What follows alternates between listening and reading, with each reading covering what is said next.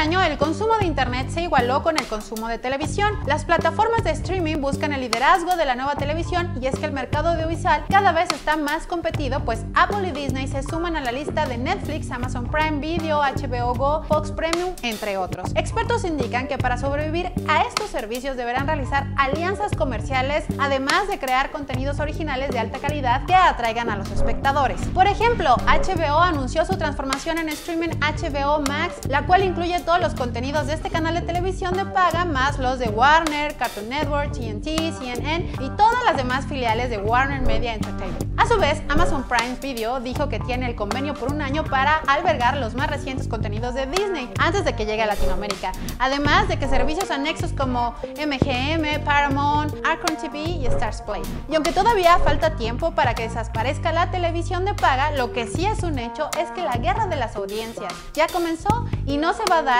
en cine ni en televisión, será por internet. Soy Jimena Ladú y si te gustó mi videocolumna te invito a comentar y a compartir.